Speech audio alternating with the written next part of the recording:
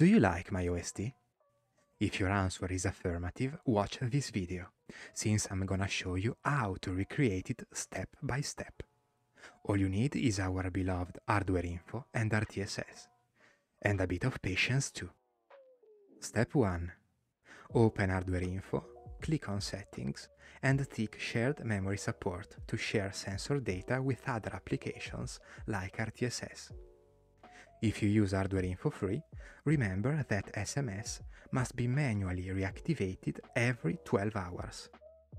Then open RTSS, click on Setup, Plugins, tick both, double click on hotkeyhandler.dll and set these three hotkeys as you wish.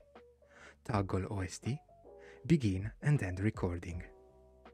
Next, double-click on Overlay Editor.dll, Layouts, New, Layouts again, save as subscribe,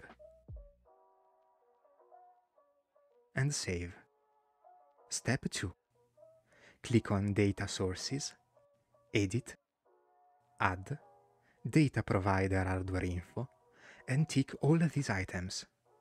Core clocks, CPU usages,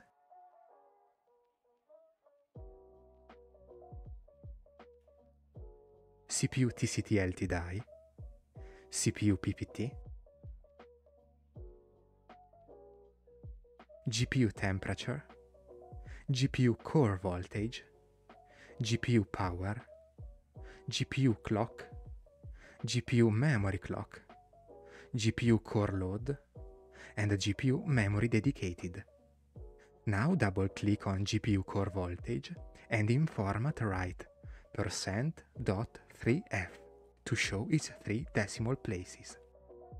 Then add again data provider internal HAL and tick these two items RAM usage and total RAM. Step 3. Click on Tables, Edit, Add, name CPU. Set cell size and alignment as these 80, 80, minus 8, 0. Now click on Add, add cells to new line, name core 0, and tick core 0 clock, core 0 T0 usage, core 0 T1 usage. Finally double click on the first line, tick Use custom line text color, and set R51, G255, B51. Repeat these actions for all the other cores. Add another table. Name GPU. Set cell size and alignment as this. 80, 80, minus 7, 0. Now click on Add. Add cells to new line. Name C clock tick GPU clock. Double click. Color 51, 255, 51. Repeat these actions for memory clock, core load, memory dedicated, and core voltage. In the end, the GPU table will look precisely like mine. Add the last table. Name benchmark, set cell size and alignment as this 80, 80, minus 11, 0. Now click on Add Cells to New Line, name Max, and tick Frame Rate Max. Color 51, 255, 51. You know the drill. Repeat it for frame rate mean, average, 1%, and 0.1%. Here is the result. Step 4, the most tedious one. Click on Layers, Add, double click on it, name background, remove hypertext, tick Use custom background color, untick Resize layer to content, apply OK. Add a new layer, name top, hypertext what you want, Custom text color 0, 128, 0. Custom background color opacity 75%. Manual extend origin, center. Apply OK. New layer. Name, CPU name. Hypertext, write percent CPU percent. Double click on it. Macro. This is it. Custom text color 0, 182, 0. Origin center, apply OK. Select the CPU name layer and copy-paste it via Ctrl-C and Ctrl-V. Rename it as GPU name. Double-click on the hypertext, macro, percent GPU percent. Write down the brand name of your graphics card before it. Apply OK. Copy-paste. Rename as a RAM name. Write down the name and the speed of your RAM.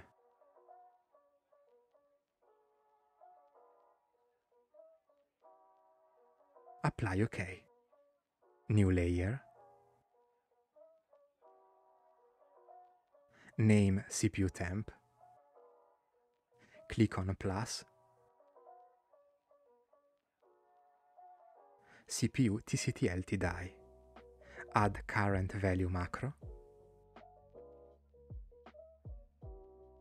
Custom text color 102, 255, 102.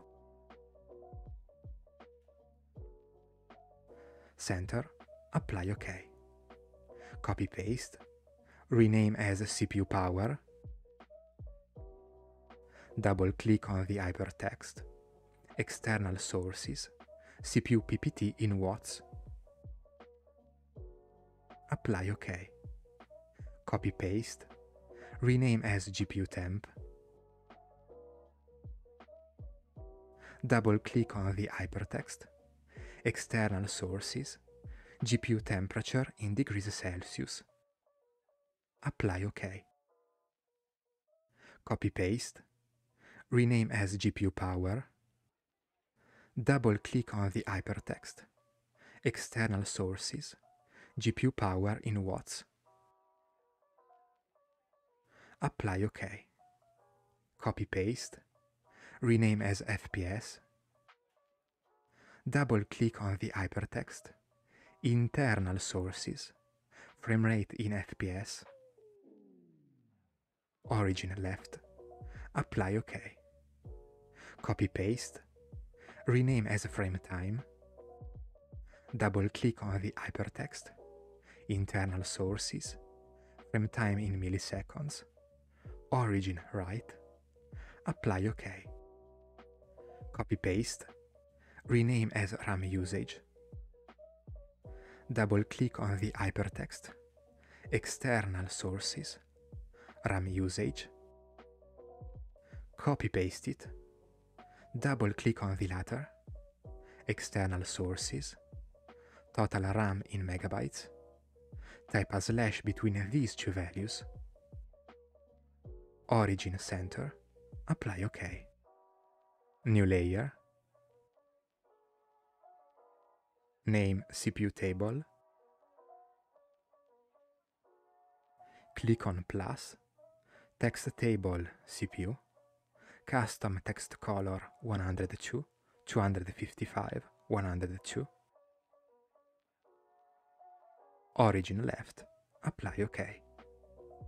Copy paste, rename as GPU table, in hypertext just change CPU into GPU, apply OK. Copy paste, rename as benchmark table, just change GPU into benchmark. Apply OK. New layer. Name frame time graph. Click on plus, frame time, add embedded graph. OK.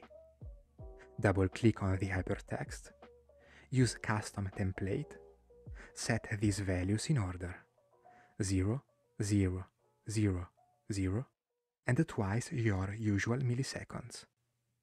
Graph background enabled.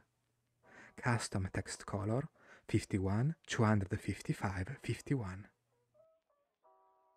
Center, apply OK. Select the top layer and copy-paste it. Rename as bottom. In hypertext, write down percent time 24%. Apply OK. Step 5. Move and resize every single layer to reproduce the arrangement of my on-screen display.